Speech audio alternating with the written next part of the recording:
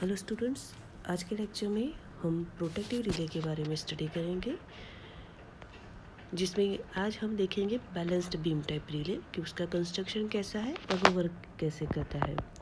तो सबसे पहले आप डायग्राम में देख सकते हो कि जो रिले का बीम रहता है, वो फलक्रम पे सपोर्टेड रहता है। जो प्लंजर है, वो आयन का बना हुआ रहता है और ये जो प्लंजर है उसको एक एंड पे रखा जाता है और जो प्लंजर है, उसको सोलेनॉइड के अंदर रखा जाता है।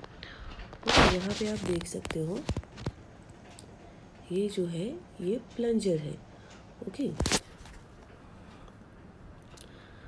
दूसरा जो बीम का एंड टर्मिनल रहता है, वहाँ पे स्प्रिंग को कनेक्ट की जाती है। अब जब भी नॉर्मल कंडीशन होगी तो उस टाइम पे कॉइल में से जो करंट फ्लो होता है, उसका जो मैग्नीट्यूड है, वो कम रहता है।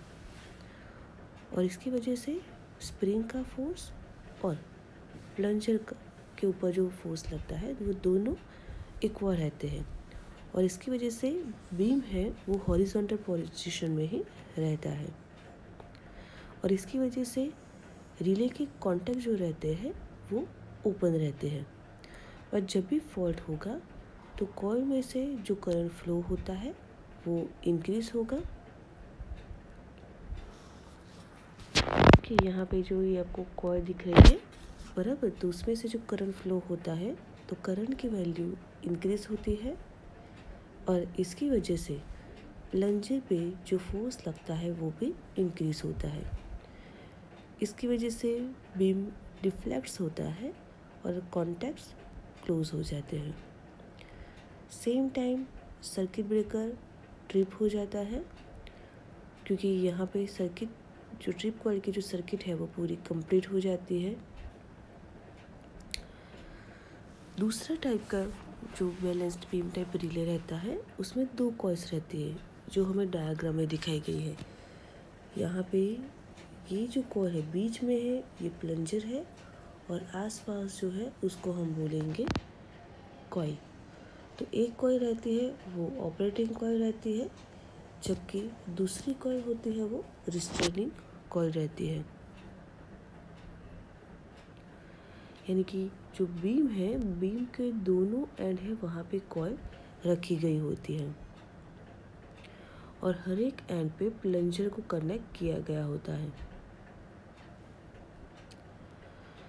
एक कॉइल है, उसको हम ऑपरेटिंग कॉइल बोलेंगे और दूसरी कॉइल है, उसको हम रिस्ट्रेनिंग कॉइल बोलेंगे। जब भी हेल्थी कंडीशन होती है, उस टाइम पे कॉइल में से जो करंट फ्लो होता है, वो कम रहता है। और इसकी वजह से, दोनों कॉइल की वजह से जो फोर्स प्रोड्यूस होता है, वो इक्वल रहता है। और बीम जो है, वो हॉरिजॉन्टल पोजीशन में ही रहता है। और इसकी वजह से जो कॉन्टैक्ट्स रहते हैं, वो भी ओपन कंडीशन में रहते हैं। ओके यहाँ पे जो दिखाए गए हैं कॉन्टैक्ट्स वो। जब भी अब फॉल्ट होता है, उस टाइम पे ऑपरेटिंग कॉल में से जो करंट फ्लो होता है, वो इंक्रीज होगा और बीम है, वो एंटिक्वस डायरेक्शन में टर्न होगा।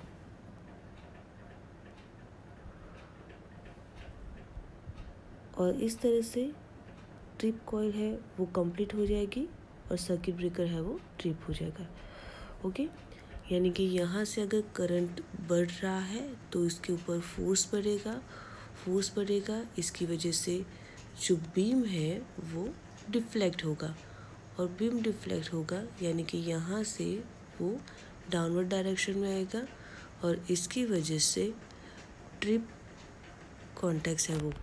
क्लोज हो जाएँगे और ट्रिप कॉल है वो सर्किट ब्रेकर को सिग्नल दे देगी।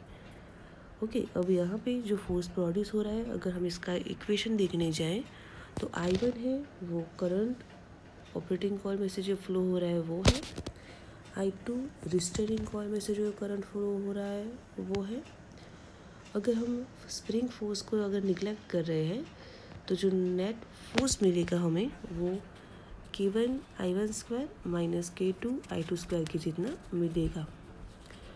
अब जब भी रिले ऑपरेट होता है, उस टाइम पे अगर दोनों फोर्स है जो इक्वल हो रहे हैं तो K one I one square is equal to K two I two square होगा। If you make I one और I two subject then I one by I two is equal to under root of K two by K one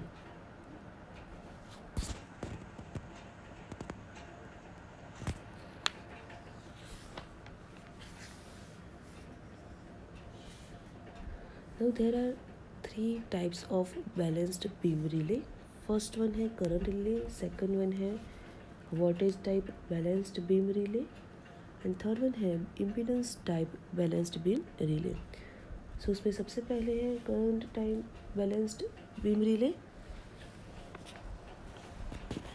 तो यहाँ पे जो current type balance beam relay रहता है, उसका construction same हमने जो देखा कि दो कॉयल रहती है ऑपरेटिंग कॉयल और स्टरिंग कॉयल और जो बीम रहता है, उसके दोनों एंड पे प्लंजर रखा हुआ होता है। और जो करंट होता है, वो दोनों कॉयल में से फ्लो होता है। जो करंट है, उसको, जो करंट ट्रांसफार्मर होता है, उसकी सेकेंडरी वाइंडिंग के थ्रू सप्लाई किया जाता है। और इसकी वजह से हमें यहाँ पे जो इक्वेशन मिलेगा, वो I one by I two is equal to under root of K two by K one मिलेगा। सेकेंड वन है water type balanced beam relay तो यहाँ पे जो कॉइल्स है, उसको वोल्टेज सोर्सेज के थ्रू एक्साइट किया जाता है। और जो हमें फोर्स का इक्वेशन मिलेगा, वो मिलेगा V one by V two is equal to K two by sorry under root of K two by K one okay क्योंकि यहाँ पे क्या होगा? K one V one square minus K two V two square is equal to four next one है impedance type balanced beam relay तो जो impedance type balanced beam relay रहता है, उसके अंदर एक कॉय रहती है, उसको वोल्टेज सोर्स के थ्रू एक्साइट किया जाता है, जबकि दूसरी कॉय रहती है, उसको करंट सोर्स के थ्रू एक्साइट किया जाता है तो अब इक्वेशन हमें मिलेगा K one V square is equal to k2 i square. So now I is equal to under to under root of k2 by k1 is equal to impedance z. और इसकी वजह से हम ये जो रिले हैं, उसको इम्पिडेंस रिले की तरह भी यूज़ कर सकते हैं। अब अगर हम देखने जाए characteristic of balanced beam relay तो ये जो रिले है, उसको अगर हम लार्जर रेंज के लिए डिज़ाइन करने जाए तो वो बहुत डिफ़िकल्ट है, क्योंकि जो फोर्स है, वो करंट के स्क्वायर से प्रोपोजनलिटी में चेंज होता है। सेकंड वन है कि जो रिलेज है, वो बहुत जल्दी एक्शन करता है और इसकी वजह से वो इंस्टेंटेनियस टाइप का रिले कहा जाता है। थर्ड वन है कि अगर हम रीसेट करंट और ऑपरेटिंग करंट का रेशियो लेते हैं तो उसकी वैल्यू भी ज़्यादा होगी। और फोर्थ वन है कि इस टाइप के जो रिलेज है उसकी जो वी ए बर्डन है, वो उसका हम कहाँ पे यूज़ कर रहे हैं, उसके ऊपर ये डिपेंड करता है। नाउ इलेक्ट्रोमैग्नेटिक इंडक्शन रिले तो यहाँ पे टोटल तीन टाइप की इलेक्ट्रोमैग्नेटिक इंडक्शन टाइप के रिले रहते हैं। तो first of all we are going to study about the principle of operation और उसके बाद हम वन बाय वन तीनों रिले के बारे में स्टडी करेंगे। तो सबसे पहले जो आप डायग्राम में देख सकते हो, जो ये डिस्क है, वो एल्यूमिनियम की डिस्क रहती है और उसको दो इलेक्ट्रोमैग्नेट्स के बीच में पाइवट की जाती है। तो इसकी वजह से टोटल दो फ्लक्स प्रोड्यूस होंगे बट ये जो दोनों फ्लक्स प्रोड्यूस होंगे, दोनों फेस और स्पेस में डिफरेंस रहता है। अब यहाँ पे इलेक्ट्रोमैग्नेट है, दो फ्लक्स प्रोड्यूस हो रहे हैं तो अब क्या होगा? करंट इंड्यूस होंगे, यानी कि current eddy currents are induced in the disc जो डिस्क है, उसके अंदर एडी करंट इंड्यूस होता है। और करंट की वजह से अब दो टॉर्क प्रोड्यूस होंगे, क्योंकि दो फ्लक्स है उसमें से एक फ्लक्स और जो एडी करंट्स हैं, उन दोनों के बीच में इंटरेक्शन होगा और उसकी वजह से टॉर्क प्रोड्यूस होगा। तो इसकी वजह से ना हमें नेट टॉर्क मिलेगा और उसकी वजह से जो डिस्क है वो रोटेट होती है। अगर हम देखते हैं कि एक फ्लक्स जो है फाइव टू फ्लक्स और दूसरा फ्लक्स है फाइव वन फ्लक्स अगर जो फ्लक्स फाइव टू रहता है, यहाँ पे आप देख सकते हो दो फ्लक्स प्रोड्यूस हुए हैं। एक है फाइव टू दूसरा है फाइव वन ओके तो यहाँ पे जो फ्लक्स फाइव वन है, वो फाइव टू से बीटा डिग्री जितना आगे रहेगा। अगर हम फाइव वन को five one M sine omega T से दिखाते हैं और फाइव टू को five two M sine omega T plus theta. Okay, यहाँ पे हम एंगल दोनों के बीच का थीटा ले लेते हैं। और फाइव टू को अगर हम five two M sine omega T plus theta से दिखाते हैं तो ये दोनों जो फ्लक्स है, वो डिस्क के साथ लिंक हो गए और उसकी वजह से E M F E one and E two. Produce होंगी। और ये जो दोनों ई एम एफ़ है, वो उसका जो रिस्पेक्टिव फ्लक्स है, उससे 90 डिग्री लैग करेगा।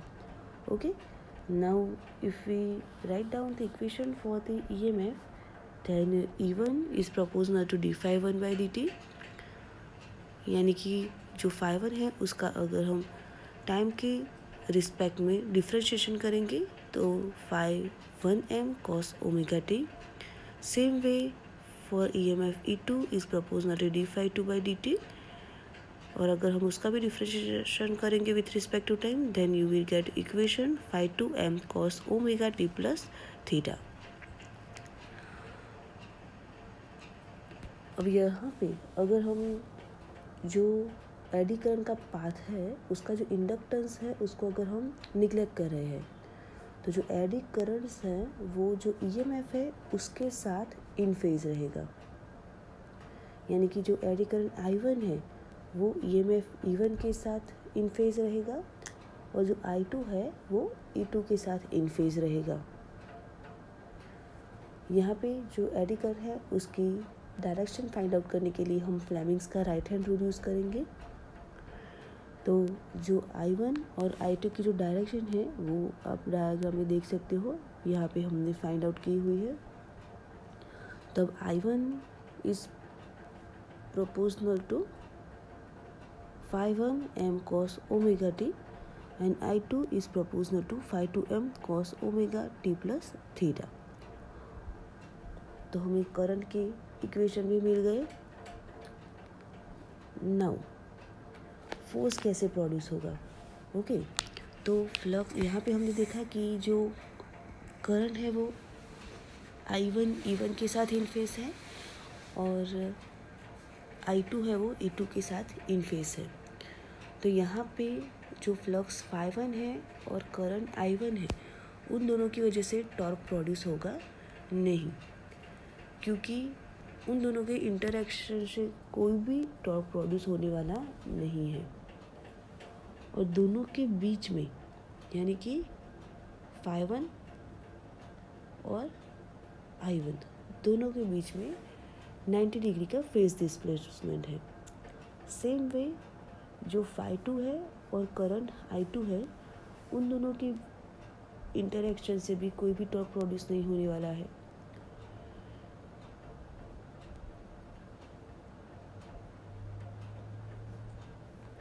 बट यहाँ पे जो टॉर्क प्रोड्यूस होगा, वो फ्लक्स फाइव वन और करंट आई टू और फ्लक्स फाइव टू और करंट आई वन के इंटरेक्शन से प्रोड्यूस होगा।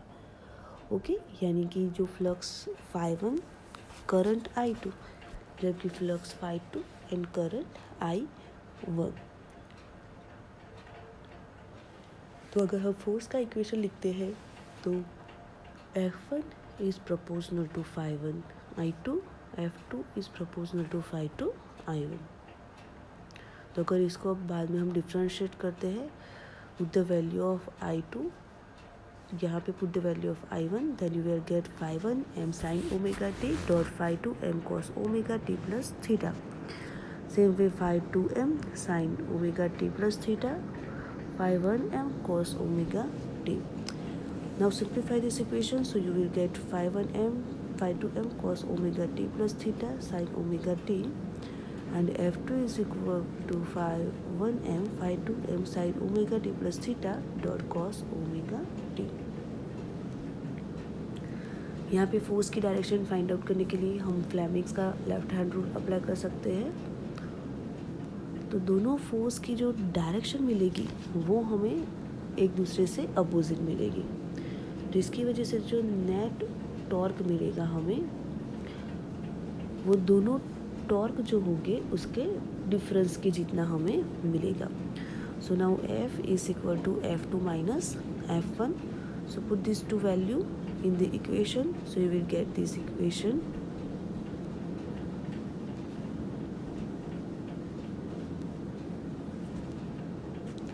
तो आपको इक्वेशन मिलेगा five one M, five two M sine omega T plus theta cos omega T minus cos omega T plus theta dot sine omega T now you this equation with your mathematical expression and then you will get sine theta, यानी कि five one M, five two M sine theta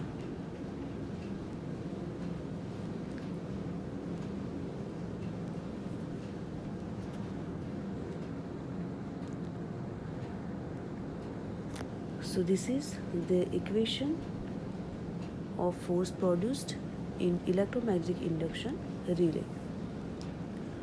तो जो यहाँ पे five one M five two M मिल रहा है, वो sinusoidal जो फ्लक्स है, उसकी आर एम एस वैल्यू दिखाता है। जबकि जो नेट टॉर्क प्रोड्यूस होगा, वो दोनों फ्लक्स का जो मैग्नीट्यूड है और उन जो, उन दोनों के बीच में जो फेस डिस्प्लेसमेंट है, उसके ऊपर वो डिपेंड करता है। अगर जो थीटा है, उसकी वैल्यू 90 डिग्री होती है तो मैक्सिमम टॉर्क प्रोड्यूस होगा।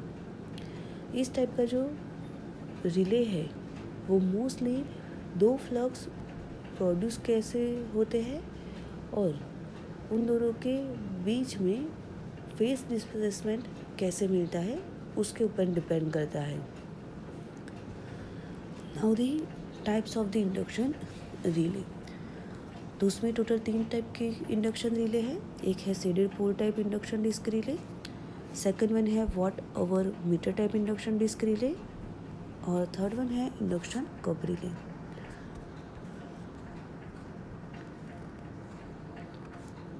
तो सबसे पहले हम देखेंगे shaded pole type induction disc relay तो शेडेड पोल टाइप इंडक्शन जो डिस्क रिले है, उसमें एक एल्यूमिनियम की डिस्क रहती है, जिसको इलेक्ट्रोमैग्नेट का जो मैग्नेटिक फ़ील्ड होता है, उसके अंदर पिवोट किया जाता है। ओके यहाँ पे आप देख सकते हो, ये जो है पूरा इलेक्ट्रोमैग्नेट है। यहाँ पे कॉयल को कनेक्ट किया गया है। इलेक्ट्रोमैग्नेट के बीच में पतली एल्यूमिनियम डिस्क को रखा गया है।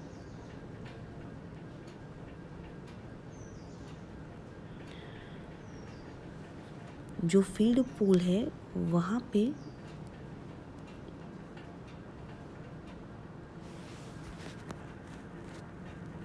एक स्लॉट बनाया गया है और कॉपर शेडिंग बैंड जो रहती है, उसको एक पोर्शन पे फिट किया जाता है। अब जब भी कॉयल करंट कैरी करेगी, यानी कि कॉयल में से करंट फ्लो होगा तो मैग्नेटिक फ़ील्ड प्रोड्यूस होगा। इसकी वजह से जो शेडिंग रिंग है, उसके अंदर करंट इंड्यूस होगा। और इसकी वजह से जो फ्लक्स यहाँ पे प्रोड्यूस होने वाला है। ओके तो यहाँ पे जो फ्लक्स प्रोड्यूस होगा, जिसको हम बोलेंगे फाइव टू तो जो फ्लक्स प्रोड्यूस होगा, वो जो मेन फ्लक्स है, उससे लैग करेगा अगर हम ये एंगल बीटा लेते हैं तो दोनों फ्लक्स जो प्रोड्यूस होंगे, वो एक दूसरे से बीटा डिग्री जितने लैग करेंगे। तो जो टॉर्क प्रोड्यूस होगा, वो हम देंगे by giving equation torque is proportional to five one five two sine beta okay क्योंकि दोनों फ्लक्स के बीच में बीटा जितना एंगल बनेगा। तो यहाँ पे जो फ्लक्स प्रोड्यूस होगा, वो करंट के जितना ही होगा। So now we put the value of equation torque is proportional to I square sine beta तो जो ड्राइविंग टॉर्क है, वो करंट के स्क्वायर के हिसाब से चेंज होगा। नेक्स्ट वन है watt hour meter type induction disc relay तो ये जो रिले है उसका जो कंस्ट्रक्शन है, वो इंडक्शन वॉट ओवर मीटर की जैसा ही रहेगा। और इसकी वजह से इसको watt hour meter type induction disc relay कहा जाता है। तो यहाँ पे एक ई e शेप का इलेक्ट्रोमैग्नेट देख रहे हो आप ओके तो ये जो, एक जो इलेक्ट्रोमैग्नेट है वो ई e शेप का रहता है, जबकि दूसरा जो इलेक्ट्रोमैग्नेट है वो सी शेप का रहता है। दोनों जो इलेक्ट्रोमैग्नेट है, वो लैमिनेटेड किए गए होते हैं। दोनों के बीच में एक एल्यूमिनियम डिस्क रहती है, उसको पिवोट किया जाता है। जो डिस्क की जो स्पिंडल है, उसके ऊपर मूविंग कॉन्टैक्ट को रखा जाता है।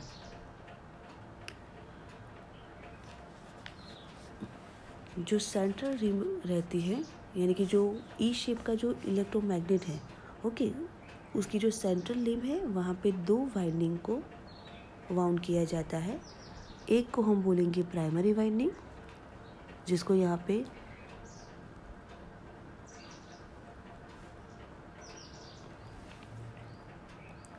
रेड कलर से दिखाया गया है और दूसरी होगी सेकेंडरी वाइंडिंग जो प्राइमरी वाइंडिंग है, उसको हम बोलेंगे पी और उसको ऑल्टरनेटिंग करंट से एक्साइट किया जाता है। जो वाइंडिंग्स है, उसके ऊपर टैपिंग्स प्रोवाइड की गई होती है। और ये जो टैपिंग्स हैं, उसको प्लग सेटिंग ब्रिज के साथ कनेक्ट की गई होती है। दूसरी वाइंडिंग है, जिसको हम बोलेंगे सेकेंडरी वाइंडिंग जो ब्लू कलर से आपको दिखाई दे रही है, उसको हम एस से दिखाएँगे। और ये जो वाइंडिंग है, उसको लोअर इलेक्ट्रोमैग्नेट के साथ कनेक्ट किया जाता है। ओके आप देख रहे हो ब्लू लाइन जो लोअर इलेक्ट्रोमैग्नेट के पास जा रहा है। अब काम कैसे करेगा?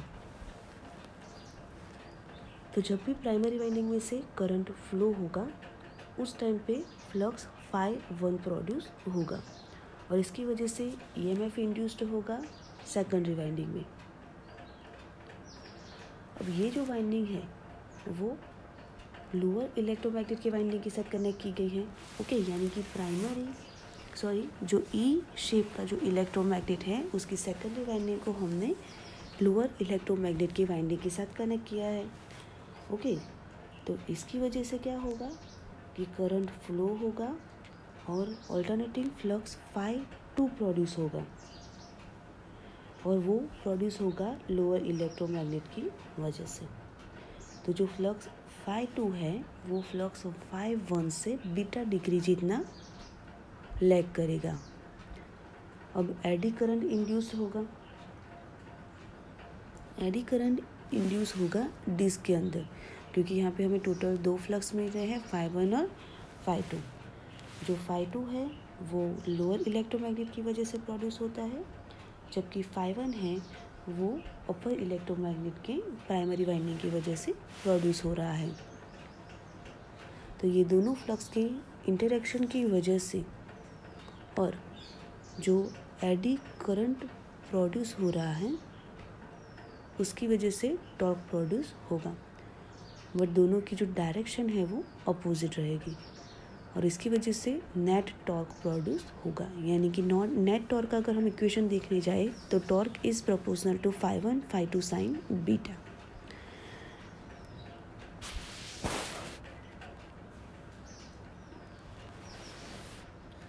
Type का जो रिले है, उसको हम इन्वर्स टाइप का रिले भी कह सकते हैं, क्योंकि जैसे जैसे टाइम की वैल्यू बढ़ती जाती है ऐसे ऐसे करंट की वैल्यू डिक्रीज होती जाती है। और इसकी वजह से इसको इन्वर्स टाइप रिले भी कहा जाता है। जो ऑपरेटिंग टाइम है, अगर उसको हमें चेंज करना है तो जो स्पिंडल पे जो कॉन्टेक्स की जो पोजीशन है उसको हम चेंज करके ऑपरेटिंग टाइम जो है वो चेंज कर सकते हैं। So this is the construction and working of the watt hour meter type induction relay. Third one है इंडक्शन कप रिले तो इंडक्शन कप रिले में एक कोर होती है जो आपको दिखा रही है बीच में, पूरी लेमिनेटेड रहती है। जो नंबर ऑफ़ पोल्स रहते हैं, वो दो या चार और उससे भी ज़्यादा हो सकते हैं। यहाँ पे फोर पोल्स का यूज़ किया गया है। जो पोल है, उसके ऊपर वाइंडिंग्स को प्रोवाइड किया गया है। और चारों जो वाइंडिंग है, उसको सीरीज़ में कनेक्ट किया जाता है। जो वाइंडिंग्स है, उसको एसी सप्लाई दिया जाता है। यहाँ पे एक सिलेंड्रिकल लैमिनेटेड कोर है, जिसको हमने मिडल में रखा हुआ है। ये जो कोर रहती है, वो फिक्स्ड रहती है। और ये जो कोर है, उसकी अराउंड एल्यूमिनियम कप रखा जाता है। ओके, जो डार्क ब्लू कलर में दिख रहा है, वो है एल्यूमिनियम कप ये जो कप है, उसके ऊपर स्पिंडल रखा जाता है। और जिसको ज्वाइड वायरिंग के साथ पिवट किया गया होता है। जो कप है, उसके ऊपर कॉन्टेक्ट को रखा जाता है। जो स्पिंडल है, उसके ऊपर स्पाइरल स्प्रिंग को भी रखा जाता है। यहाँ पे एक स्पिंडल की हेल्प्स कनेक्ट करेंगे हम। जो स्प्रिंग है यहाँ पे, वो कंट्रोलिंग टॉर्क प्रोवाइड करती है। अब अगर हम इसका वर्किंग देखने जाए तो वो कैसे काम करेगा कि जब भी ऑल्टरनेटिंग करंट फ्लो होगा वाइंडिंग में से तो ऑल्टरनेटिंग फ्लक्स प्रोड्यूस होगा। ये जो फ्लक्स प्रोड्यूस होगा, इसकी वजह से एडी करंट इंड्यूस होता है। तो ये जो एल्यूमिनियम कप हमने रखा है, वहाँ पे एडी करंट इंड्यूस होगा। अब जो फ्लक्स है और जो एडी करंट है, उन दोनों के इंटरेक्शन की वजह से दो टॉर्क प्रोड्यूस होंगे और दोनों टॉर्क जो है, वो एक दूसरे से अपोजिट डायरेक्शन में लगेंगे।